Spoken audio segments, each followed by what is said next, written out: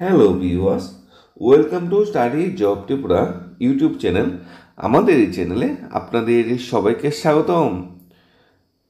আজকের প্রসঙ্গ পিআই থেকে ফায়ারম্যান পুলিশ কনস্টেবল থেকে জেল পুলিশ চাকরির সমস্ত প্রক্রিয়া মাঝপথে বন্ধ, অর্থাৎ মাঝপথে নিয়োগ বন্ধ। ক্ষুব্ধ রাজ্যের বেকাররা, হতাশাগ্রস্ত রাজ্যের বেকাররা, যে কোনো একটা নিয়োগ প্রক্রিয়া শুরু হচ্ছে, কিন্তু তা সঠিক সময়ে শেষ করতে পারছে না, সংশ্লিষ্ট দপ্তর। এর জন্য কোথায় খামতি আছে তা খুঁজে পাচ্ছেন না কেউই। সবাই এখন মানে চিন্তাগ্রস্ত আছে। যে খবরটা উঠে এসেছে আজকে আমরা একবার দেখে নিই। দ্বিতীয়বার সরকার আসার পরে বেশ কিছু দপ্তরে লোক নিয়োগের সিদ্ধান্ত নেওয়া হয়। ক্যাবিনেট মঞ্জুরি পাওয়ার পর লোক নিয়োগের জন্য বিজ্ঞাপন দিয়ে ইন্টারভিউ নেওয়ার দিন তারিখও ঘোষণা করা হয়। যথাযথ শুরু হয়েছিল ইন্টারভিউ এর মধ্যে দুই হাজার তেইশ সালে ক্ষমতায় পুনরায় আসার আগে, দুই হাজার আঠারো সালে ক্ষমতা আসার পর তৎকালীন সময়ে, দুই হাজার আঠারো জন ক্ষমতা এসেছিল, তৎকালীন সময়ে অগ্নি নির্বাপক দপ্তরের মন্ত্রী ছিলেন রামপ্রসাদ পাল মহোদয়। তখন অগ্নি নির্বাপক দপ্তরের লোক নিয়োগের প্রক্রিয়া শুরু হয়। হাজার হাজার যুবক অরুন্ধতিনগর পুলিশ মাঠে তাদের শারীরিক মাপযোগের পরীক্ষায় অংশ নিয়েছিল। এরপর পুনরায় যখন দুই হাজার তেইশ সালে আবার গভর্নমেন্ট প্রতিষ্ঠিত হয়, তখন ক্যাবিনেট সিদ্ধান্ত কমে ক্রিয়া দপ্তর অর্থাৎ স্পোর্ট ডিপার্টমেন্টে পিআই থেকে শুরু করে আরও অন্যান্য দপ্তরে পুলিশ কনস্টেবল, জেল পুলিশ ইত্যাদি নিয়োগ প্রক্রিয়া শুরু হয়, তাছাড়া স্টাফ নার্স। পিআই পদে ইন্টারভিউ নেওয়া হয়, কিন্তু লক্ষণীয় বিষয় হলো, মন্ত্রী রামপ্রসাদ পালের জমানায় অগ্নিনির্বাপক দপ্তরের লোক নিয়োগের শারীরিক পরীক্ষা হলো, সেগুলো এখন কোন পর্যায়ে আছে তা জানা নেই। অথচ বেকার যুবকরা অনেক আশা নিয়ে ঐন্দ্যতম পুলিশ মাঠে তাদের শারীরিক পরীক্ষা অংশ নিয়েছিল। যদিও তখন তখন অনেকের ধারণা হয়েছিল, যেহেতু তাদের শারীরিক পরীক্ষার কিছুদিন পরেই ঘোষণা হয়ে যাবে তেইশ বিধানসভা নির্বাচনের দিনক্ষণ।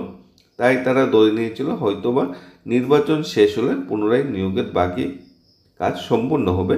কিন্তু নির্বাচন শেষ হয়ে পুনরায় সরকার ক্ষমতায় আসার, বসার প্রায় ছয় মাস অতিক্রান্ত হতে চললেও সেই নিয়োগ প্রক্রিয়া আর কোনো উদ্যোগ দেখা যাচ্ছে না। এইভাবে পিআই পদের ক্ষেত্রে নতুন কোনো উদ্যোগ দেখা যাচ্ছে না। ফলে স্বভাবতই যে যুবক যুবতীরা বুক বড় আশা নিয়ে ইন্টারভিউ অংশ নিয়েছিল, তারা এখন হতাশাগ্রস্ত, ভুগছে। শুধু তাই নয়, দুই হাজার সালে রাজ্যের বিজেপি আইপি আইপিএফটি সরকার ক্ষমতা আসার পর জিআইবিতে পরীক্ষা নিল সেগুলি কোনো সমাধান হয়নি। এক্ষেত্রে পিআরটিসি ইস্যু অন্তরায় হয়ে দাঁড়ায়। যদিও পিআরটিসি ইস্যু সরকার বর্তমান সিদ্ধান্ত নিয়েছে, সরকারি চাকরি ক্ষেত্রে পিআরটিসি বাধ্যতামূলক। এক্ষেত্রে আগে যারা জিআইবিটি পরীক্ষা দিয়েছিল, তখন যেহেতু পিআরটিসি বাধ্যতামূলক ছিল না, তাই সরকার এখন মহা সমস্যা করে আছে। দেখা গেছে পিআরটিসি বাধ্যতামূলক না করে ওই সময় একটা বড় অংশ বহিরাজ্যের চেয়ারবিটি পরীক্ষা অংশ নিয়েছিল যে কারণে সরকার এই সমস্যার সমাধানে এখনও করতে পারেনি। যদিও রাজ্যের ছেলেমেয়েরা এই ইস্যুতে শীঘ্রই সমাধানের লক্ষ্যে প্রায় তিন দিন ছোটোখাটো আন্দোলন অনুষ্ঠিত করে চলছে।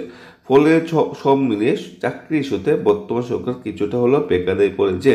বিশেষ করে অগ্নি নির্বাপক দপ্তর কেয়া দপ্তর, jail police police constable, GRBT সহ অন্যান্য যে সমস্ত দপ্তরে লোক নিয়োগের প্রক্রিয়া শুরু হয়েছিল, সেই সমস্ত দপ্তরের নিয়োগ নিয়ে বর্তমান সরকার যে সমস্যা হয়েছে তাই বলাই বা হলো রাজ্যের চাকরি শীতে যখন বেকার এহেন অবস্থা, সেই ক্ষেত্রে বিরোধীদের নেই কোনো তীব্র আন্দোলন। কোশ্চেন এটাই, সরকার তো ঢিলেমি একটু করবে একটু ঢিলে করবে কারণ চাকরি দিলে বেতন দিতে হবে। কিন্তু বিরোধীদের ভূমিকা কই? বিধানসভায় ঘুমিয়ে ঘুমিয়ে কাটানো বিরোধীদের ভূমিকা? বিধানসভায় বিরোধী বিধায়ক মানে বিরোধী দল অনিল কিছু দু চারটা কথা বলেছে। হয়তো বামপন্থীর এমএলএ মানে জিতেন চৌধুরী মহোদয় দু একটা কথা বলেছে, কিন্তু বেকার ইস্যুতে তাদের আন্দোলন কোথায়? বিরোধী দল আন্দোলন কোথায়? বিরোধী দলের কি মানে বিধানসভায় যখন আসে তখনই কি মায়ের কান্না শুরু হয় বেকারদের নিয়ে? বেকারদের নিয়ে কে ভাবছে? গভর্নমেন্ট তো গভর্নমেন্টের চাকরি প্রসেস শুরু করছে। এখানে বিরোধীদের ভূমিকা কি? এত বড় একটা ইস্যু রাজ্যের বেকার মহলে তাদের জন্য বিরোধীদের আদৌ কি কোনো ভূমিকা আছে? তারা কি কোনো ধরনের আন্দোলন করেছে? তারা কি কোনো গভর্নমেন্টের কাছে কোনো দাবি পেশ করেছে? দিনকে দিন সবাই হতাশাগ্রস্ত হচ্ছে, চাকরি বয়স হারিয়ে ফেলেছে, বয়স উত্তীর্ণ হয়ে যাচ্ছে, কিন্তু বিরোধীরা মজেছে, তাদের ওই ভাতা বাড়ছে, গাড়ি বাড়ছে, বেতন বাড়ছে, পেনশন বাড়ছে, তা নিয়ে।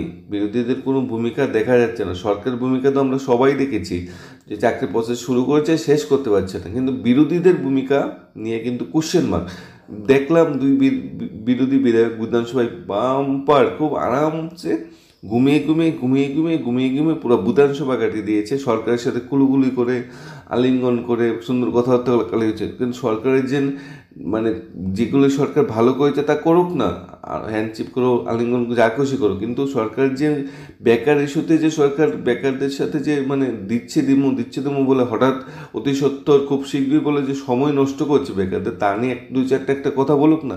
নাই, তাদের বিরোধীরা গভর্নমেন্টে গিয়ে পুছেছে, বিধানসভায় গিয়ে পুছেছে, নিজের আরাম আয়াসের জন্য। হয়তো এখানে এটাই বোঝা যাচ্ছে, তাদের বেকারদের নিয়ে তাদের কোনো মাথা ঘামা মাথার চিন্তা তাদের নেই।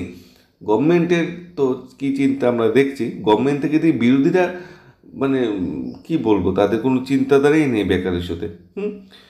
বাজেট অধিবেশনে বাজেট অধিবেশনে বিরোধী দল টিপামথা অপর বিরোধী দল সিপিএম চাকরির সাথে কিছুটা সরব হয়েছিল। বাজেট অধিবেশন শেষ হতে তারা আবার এই ইস্যুতে গরমিকি হয়ে যায়। বাজেট অধিবেশনের বিরোধী যখন চাকরির সাথে সরব হয়েছিল, তখন বেকারের মনে একটা আশার সঞ্চার হয়েছিল। কিন্তু অধিবেশন শেষ হতেই বিরোধীরা গর্মুখী হয় পুনরায় হতাশায় চলে যাচ্ছে বেকাররা। বিশেষ করে যারা নিয়োগের প্রক্রিয়া শুরু অংশ নিয়েছিল ফলে সভাপতি প্রশ্ন হচ্ছে, এই ধরনের জ্বলন্ত ইস্যু থাকা সত্ত্বেও বিরোধীরা কেন নীরব?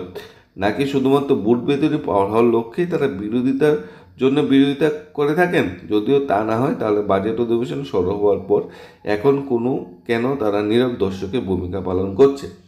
বিরোধীরা গড়মুখ, আবার ইলেকশন আসলে বেকার কান্না শুরু হবে।